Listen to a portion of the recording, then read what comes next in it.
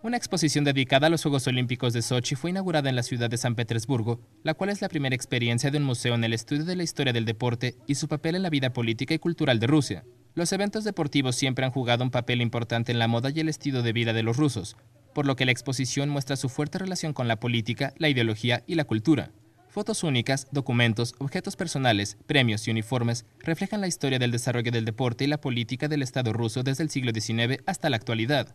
Algunos deportistas famosos donaron al museo algunas de sus pertenencias personales, incluyendo copas deportivas de diferentes años, artículos artesanales e incluso muestras de la industria textil soviética. Los visitantes pueden remontarse de nuevo a 1972, en vista de que tecnologías interactivas y multimedia transmiten partidos de hockey entre la Unión Soviética y Canadá, además de que la gente tiene la oportunidad de terminar un juego legendario de ajedrez entre Spassky y Fischer. Asimismo, Pide entrevistas con campeones olímpicos, comentaristas deportivos, historiadores y aficionados proporcionarán más detalles.